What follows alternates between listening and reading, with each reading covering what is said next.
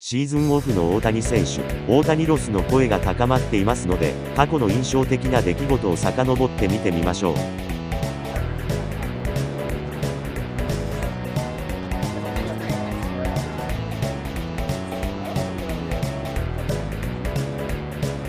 この映像は、大谷選手とトラウト選手が絡む映像です。言葉を交わすシーンはシーズン中によく見ましたが、こういう体を使ったコミュニケーションは珍しいですね。2023年の WBC で、日本、アメリカとチームを分かれて戦うことになる2人、大谷対トラウト、今から楽しみすぎますね。